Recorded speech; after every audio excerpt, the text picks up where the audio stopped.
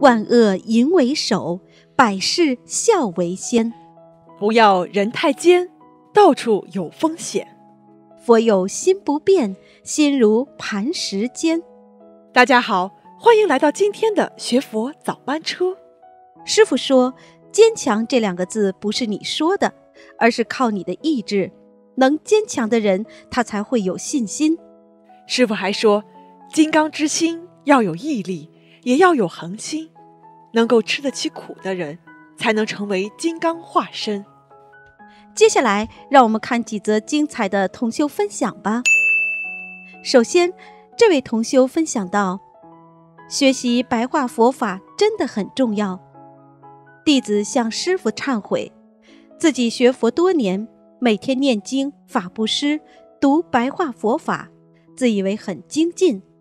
但是最近遇到考验，才发现白话佛法学得太肤浅，学了理论，没有应用在实践中。”自己的劣根习气还是没有改掉，自己以为过去的事情我已经放下了，但是碰到考验才发现自己还是在执着，没有真正领悟因果的真相。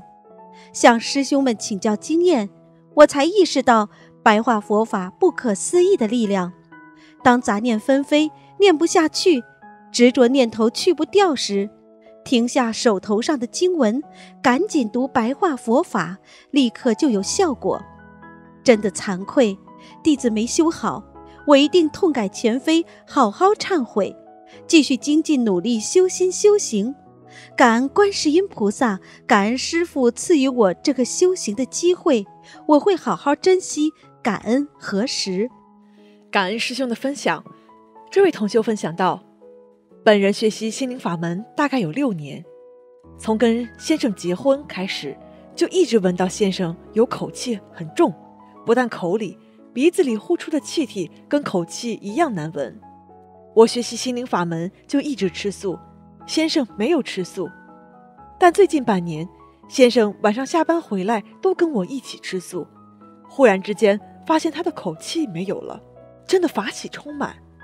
吃素真的可以去除体内的浊气毒素，请还未吃素的师兄们根据自己的实际情况，尽早发愿吃素吧。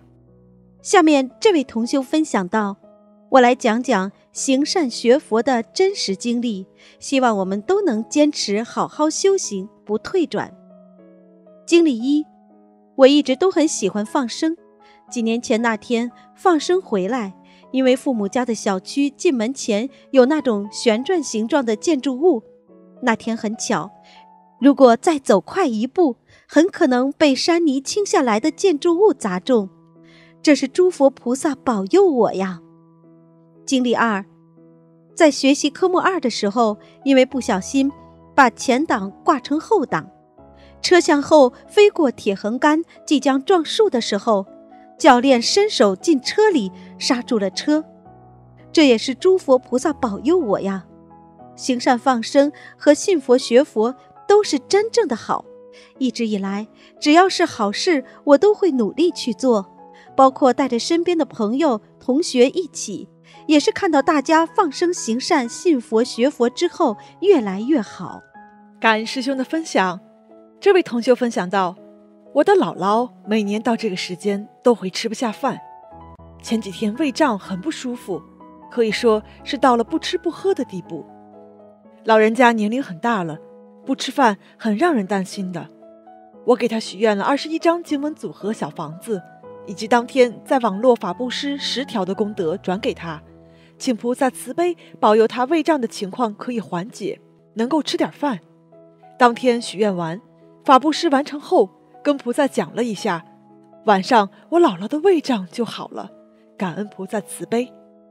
其实学佛并不是说让我们不看医生、不吃药，而是有些问题是因为业障所致，需要我们诚心去忏悔、做功德、消除业障，从而变得顺利。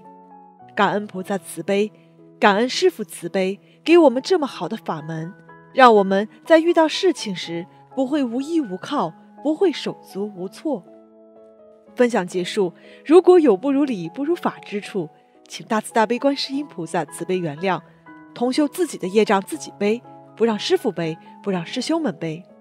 接下来，让我们一起来听师傅讲一个小故事吧。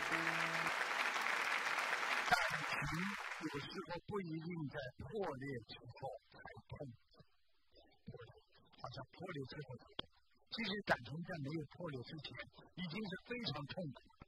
有一位学者说过这么一句话，他说：“人们以前一直以为破坏婚姻的三大罪魁祸首就是外遇、谎言和冷淡。”他这位学者后来半开半开玩笑的说：“近来他研究了差不多好几年，通过各种渠道，他才发现最新的。”这个婚姻破坏婚姻的罪魁祸首就是手机不设密码，不删掉聊天记录，还有同学聚会。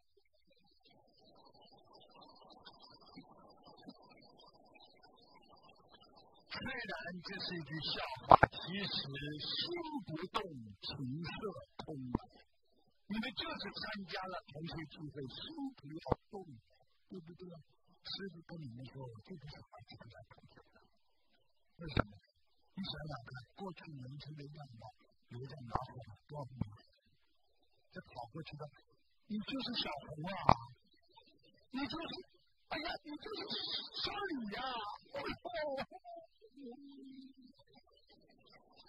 满脸皱纹。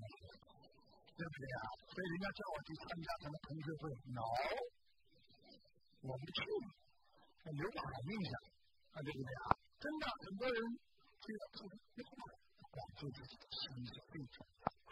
所以有的时候，一种似是而非的面子，实际上一种感觉。你想想看，我们年轻的时候多爱面子。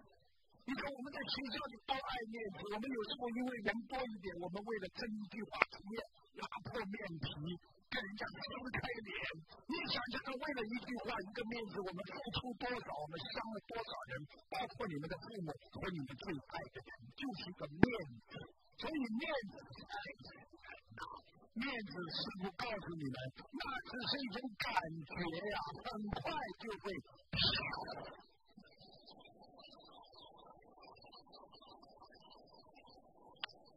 什么意思啊？师傅小时候也很有面子的，有什么意思啊？什么面子，对不对啊？有一句话的面子。小时候班级里班长被人家赶下来，我哭了好几天呢。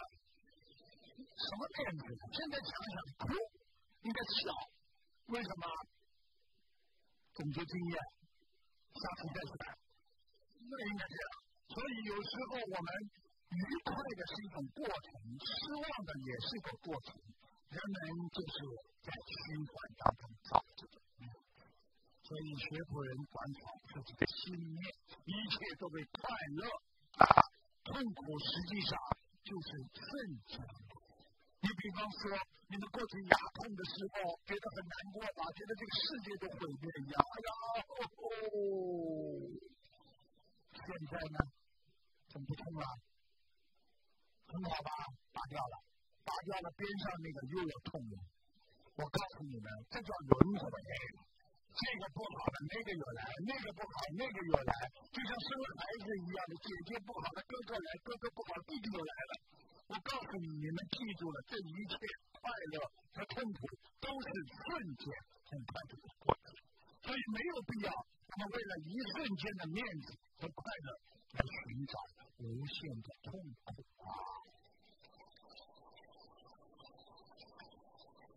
希望大家把菩萨放在心中啊，心里就会容不下任何杂念。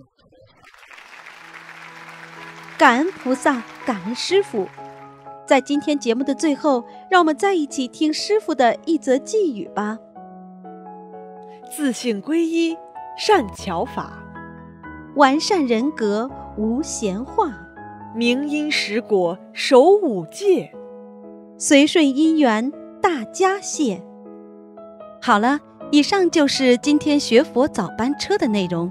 希望每个人都可以元气满满迎接每一天，加油吧，学佛人！嗯，同时也期待明天同一时间与您在这里再次相会。